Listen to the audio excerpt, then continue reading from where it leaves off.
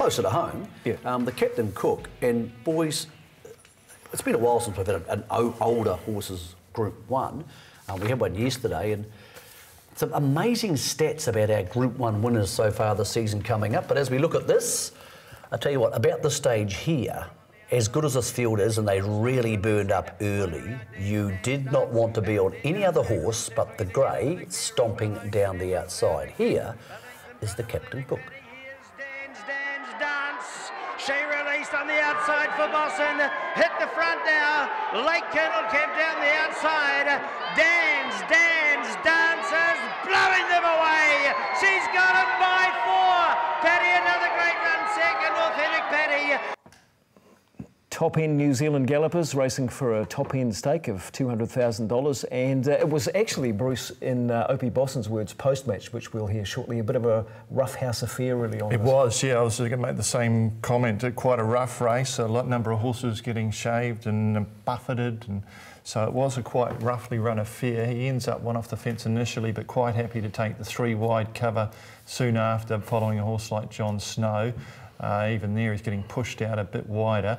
Coming around the bend, our Aberdeen's probably the one to watch. As good as Dan's, Dan's, Dan's is, our Aberdeen would have finished within two lengths. Uh, Shafiq, I think, makes uh, an error staying near the inside. He had to then come right across heels. We'll watch them as they turn for home. It's in the black colours, back about fourth last on the inside.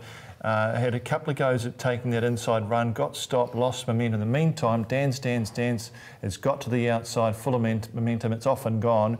Our Aberdeen is still not that well into the clear now, bumping with the horse to its outside there, Dark Princess and then gets home really well for second. But Dan stands, Dan's really good win, good sectional, speed figure outstanding, proper Group 1 performance.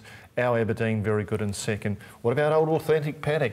The nine-year-old running, actually running second This just is his fourth go at the race, too. yeah, and he ran another great race. He's just, he's just a marvel, isn't he, authentic Paddy? Nick, I thought this was shades of Savvy Coup's dominance at uh, Hastings. Just as Uh, it was a big don't argue, wasn't it? Liz? It's, it's impossible to argue with that. Strange race in the fact that a lot of people, which I liked, I like tempo in races, wanted to be in the same place. Natural roll forward horses like John Snow, who missed the kick a little bit, and Matty had to push into that gap, and then Ocean Emperor likes to go forward, and so does Authentic Paddy. So they've all got the right to be there, but there was a bit of pushing and shoving, as Bruce said. And Opie must have just been laughing. Like, here's a horse he's never been on before, and he, he lobs onto it, but as good as his ride was, um, the training performance um, from from the Gibbs stable, absolutely outstanding. Just the Gibbs Bradley stable, my apologies. And look, it's an awfully long way from where they train down to Trentham, and here was the man of the Captain Cook Stakes. What about this performance of this filly, though, this mare? Yeah, she's she was outstanding. I mean, you're always wondering if you've got them right. And Michelle and I, we you know, you set a little plan in place, and the and the stable, and, and it's just wonderful. She was above us out today, scared me a little bit, but Opie rode her beautiful. There was a ton of pace that just set it up beautifully for her. Yeah, exactly. There's a lot of speed that we hadn't expected. Uh, where to from here for her? Uh, Zabeel was always the the idea, and then. Um, Probably have to start planning something for Sydney as a fresh campaign. I would think the way she goes fresh, we'd probably have to look at that. But that's something that Kylie and we'll all talk about. That everyone gets together and has a bit of a yarn, and we'll work it out. Congratulations, Kylie. How about that? I'm still shaking. What a performance. It's the quality of the run, though, wasn't it? oh, she. I could see it on the turn, and I think I was the first one up there in the grandstand with my arms out going, Go Gracie, that's her name. And I could just see it. I mean, Opie got her into a wonderful position, and I, when she was in the clear, I just knew that she had it. You put it together a really. It's a it's a it's a complex and diverse ownership group. How much are they enjoying this? Oh, I cannot explain the excitement. I cannot explain. We shouted down the roof up there in the grandstand. It's lucky to be still standing, actually. Yeah. No, it's wonderful to get such a great group of owners and people involved who have never been in horses, and some have, and it's like sharing the experience is incredible. And from rags to riches. Tell us again. How much did you pay for this horse? Five thousand. Five thousand. Must be very satisfying when you can come out and do what she's done today. Absolutely unbelievable, Aidan. Congratulations. Enjoyed this one, Kylie. Thank you, thank you so much. Uh, Opie, uh, this has been some performance from a very smart mare. Yeah, she is a very smart mare and um, some training effort too. So I was even a little bit sceptical coming into it, but fresh up over a mile and a bit of cut in the ground. But Could you believe how much pace there was early in that race? yeah, it was a bit bit pushy too, and um, I got in the three wide train and wasn't getting pushed around, which was a good thing. And then turning for harm, just hoping I wasn't going to get there too soon, but she's very classy mare. It seemed almost that you were mindful of getting there quite early, and then she's been able to put it in the bed. But I know you're saying you, you, you didn't want to get there too soon, but you did get there rather quickly, too. Yeah, I didn't, realise the turn of foot that she actually has. So I got there and I sat for a bit longer, so but I know I had all the horses on the inside beat. I'm just hoping nothing was coming down out wide. Step up to 2,000 metres on Boxing Day, sticking to weight for A should suit her down to the ground too. Be ideal. She's just going to improve stacks with that. Dan's, Dan's dancing with a star there for sure. She was really dominant. Um, of the other runners, the obvious one, I suppose, uh, fellas, John Snow. He was about as flat as a snowman in the middle of summer, wasn't he, yesterday? Just always always seemed to be getting knocked, well, not so much knocked around, but just never looked a happy horse. He's a big horse, though. He, he missed the kick, and, and Matt, because he needs to race hand, he needed to push into that gap, and he would just ended up having to go forward a lot. And then he, once Dan's Dance Dance came around, he had to pull out of the 1 1 and got three wide again. It's just a race which total willing to forgive on him. The question is, once the tracks get drier, because they don't want to be racing on dry tracks, do they keep going to Isabel or do they put him aside and come back in the autumn? What um, sort of horse do you think he is? He's sort of a wee bit he's not quite there at 1600 metres. He's not quite there at a mile and a half, is he? Now is he finding he's, he's raced in an awful lot of good races. Yeah, and, and he's got his chance. I'm just just going the winner for a start. It's an amazing stat for Group Ones in this country, and it's quite scary if you're heading to Karaka, or it's quite good if you're heading to Karaka, depending on what sort of person you are. The Group One winners in this country this year for the older horses. Melody Bell won the first two, fifty-seven and a half thousand dollars she cost. Yeah. Savvy Coup won the Livamol. I think she was fifty. 65. 60 years old, and, and not a lot of money. Mm. That thing cost $5,000. Even Madison County, who won the 2,000 guineas, was about $38,000. Now, the only obvious difference in this is Media Sensation, who cost a stack of money, but she's beautifully bred, and she's a big lump of a thing, and she's worth well more than they paid for her now. But of the Group 1 winners in this country so far this year, none of them, outside her, have cost a lot of money. Yeah. So, so, Bruce, Bruce, if somebody goes yeah. to Karaka, does it make you go? How do you find um, those? Though? Um, well, that's what keeps yeah. you all interested, doesn't but it? But how do you find those? They sort of they they if end it was up that easy, it wouldn't be five thousand dollars. Coup's probably you know rated number twenty-seven on the list of yearlings at the at the sales in terms of pedigree and type, and she comes out to be the fastest one probably. Yeah, well, what, what, about the fact that at five thousand dollars, Kylie Bax, who's done a wonderful job promoting this horse, has syndicated. How do you syndicate a horse for five thousand dollars? do you ring somebody and say, "Have you got a hundred bucks? Would you like to share a horse?" So it's a great story, and she'll head to the Zabeel and a wonderful training performance from the Gibbs Bradley team, and it's a really feel good story. And, and she'll she'll get a little bit of a cult following now because mm. you could make the case she's the best horse in the country. Mm. And she'll because, get a cult following too now. You know, so actually, yeah. So yeah, it was good fun. Um, Totally different type of race was the two-year-olds earlier in the day, and Bruce, this is unbelievable. A maiden hundred thousand dollar group two two-year-old race because that's what it turned out to be. There wasn't a winner. No, two race. maidens, five first starters. It was, uh, prop, uh, to be fair, a disappointing turnout. and they actually two. had to take late nominations to get it off the ground, didn't yep. they? So. And I tell you who's happy they did. Te Akau, Aotea Lad came out. Opie Bosson had a huge old day at the office. Head trial, well, no one's surprised by this, but I tell you what, Opie is 100% dialed in at the moment. You know the colours, you know them pretty well, the Tangerine team get it right once again with the two-year-old and he goes straight from unknown to group horse and into the Karaka Million and asks the uh, question now. Finds a nice response as well. Aotea Lad, Killen fights hard on the inside. Aretha is still trying diligently over on the outside. Aotea Lad in front. Aretha's trying to get to it with Killen closer to the fence. He's in front, Aotea Lad, and uh, that's a pretty good debut. Aotea Lad will be Killen and Aretha, and Cinzento made ground fourth. So uh, Te Akau Bruce taking a familiar two-year-old path uh, with a familiar result here, and he was never really in doubt, and you get the feeling that they really have quite a big rap on this bloke.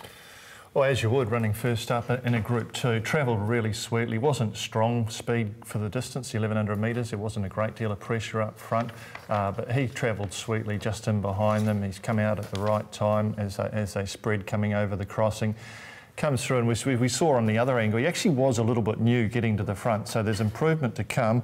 I'm more interested perhaps in the fourth horse, Cinzento, who was a conservative 10 lengths behind Whiskey Neat last time and a lot closer here. Mm.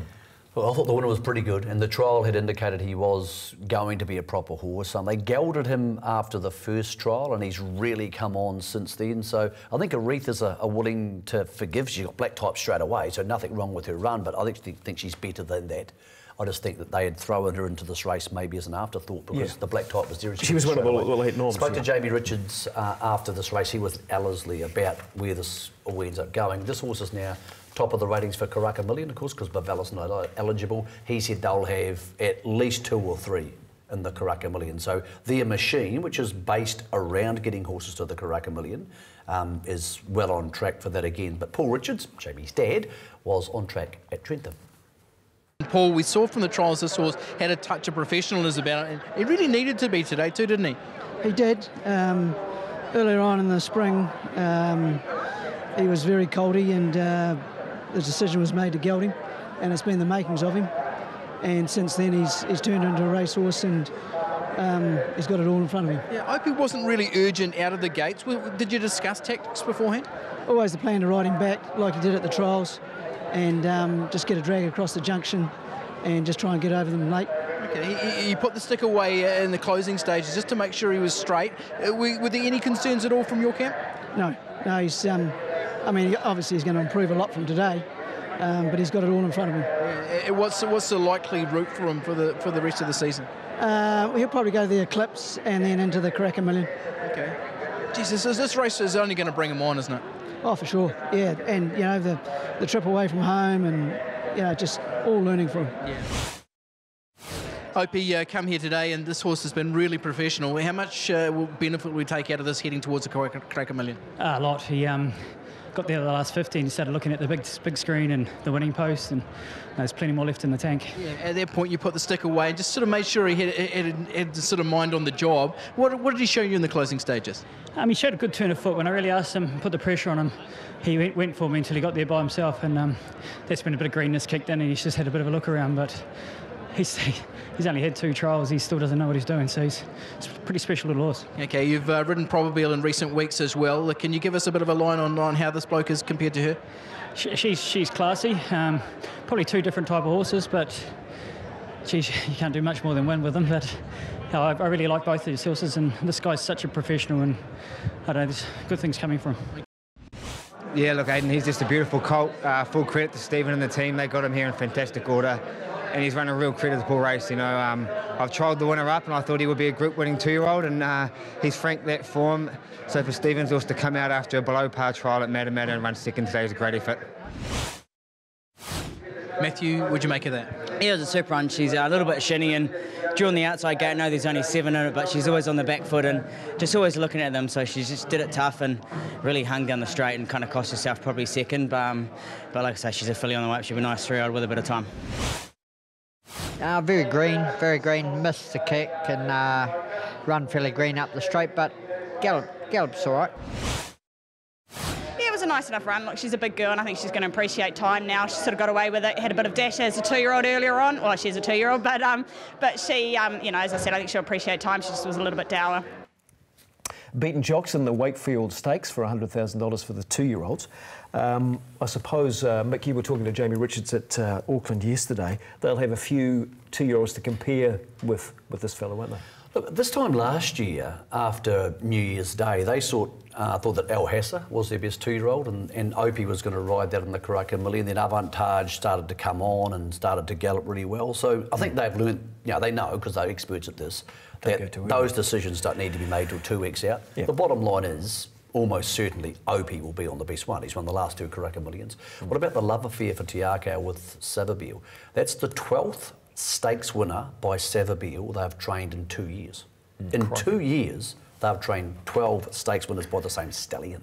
It seems to be a surprise among people, Bruce, that Savabeel's throwing two-year-olds. But when you look at his Mm. pedigree, there's a fair bit of speed there. He's not exactly Zabeel on pedigree, Exactly, even the- though he's his sire, obviously. Yeah, Success Express coming through on the dam line, and he, he is throwing some precocious horses. And also, also, he's getting an awful lot of good mares. Yeah. Because he's our top dog. Hmm. So he's getting a lot of good mares coming through, and a lot of horses go to the sales. You look at them, and they're bold, and they're big, and they're beautiful. And, but also, these horses going to Te Akau, they are trained to do this job, and they're doing it very, very well. So, so in terms of the overview of the two-year-olds, you touched on it a wee bit there. Uh, Cinzento running fourth, a good run. a good guide into Whiskey Neat last week, though, because it was yeah, fairly absolutely. and beaten by Yeah. 10 lengths. Conservative 10 lengths there, so Even where do they cut- sit? Well, we, He'd I have his hands full, wouldn't he? Yeah, Whiskey Neat, Biz- Bizella, they're the two at the moment. Bavella. Bavella, yeah. Even Killam was good. I mean, he. he Yep. He's you know, obviously a standing prospect with Waikato Stud in I the said ownership last there. week, I, I think this is a very good bunch of two-year-olds Hmm. so far because at least we've seen six or seven real horses, whereas this time last year you might have seen a couple.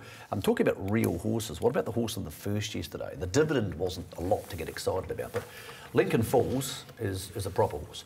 And he comes in, he wins this, and without being rude, he was always going to win this. He's the horse with the big blaze and the, I hate to say it, centre back, but it doesn't matter. Even wasn't That's why he drifted the he, he could even He drifted start, to a dollar forty He could have because he was carried the centre. centre. It wouldn't have mattered. Now um, I spoke to Lisa Latta, so here he is winning this, and uh, he comes to Ellerslie next start because they need to get him used to Ellerslie if he's going to be a Derby contender. Now he's a ready-to-run horse, but that means he's not Karaka Million eligible. So no Karaka Million for him. So Lisa's plan is to go Boxing Day at Ellerslie, a race named the Uncle Remus, where he could beat Dawn Patrol which would be a good race. Then head to the Levin Stakes, which is on the 12th at Trentham. That would be against Madison County more than likely. So he's up against the horses around first and second in the 2,000 guineas, coming up next, and then he'll be set for the Derby. So they see him as a Derby horse, no Karaka Classic, but Bruce, this is this is the proper horse. Overall time slow, very good closing. They just crawled along, didn't you? You can see them there, the, the leader just setting them up. Kahu Rock, just a maiden, uh, five start maiden coming into the race, but they've come home quickly. One of the fastest 600s, or at least round the bend anyway. It was the quickest, 34.77. So he's quickened up nicely. Qu- Big question mark over the opposition here, but he couldn't have done much more. He has the pedigree for 2,400 metres, I suppose, but he doesn't strike me as a mile and a half horse just on the way he goes. Because he's so brilliant looking. Yeah, But he- suppose his here's the market like for the Levin Classic. So this is on the first day, of the 12th, or as some people would know it, Kamara Nuggets Day. Uh, $8 for Madison County. They are looking to head that way. Lincoln Falls at $10. Crown Prosecutor, of course, very good at Otaki last week at $12. And Spirits or Beer, um, I spoke to Nigel, we'll talk to him later on, but I don't get the feeling this is on their hit list. I think they're more likely the Guineas at Ellerslie on the 1st of January. So we'll talk about that a little bit more later on. But yeah, Lincoln Falls is likely to head there after going to the Uncle Remus, but he needs to get to Ellerslie. Lisa's going to bring a bit of a team up. Princess Emily and Authentic Paddy will come back to defend his Zabeel title. But Lincoln Falls needs a spin around Ellerslie because it's a tricky place to go and they want to set him for the Derby.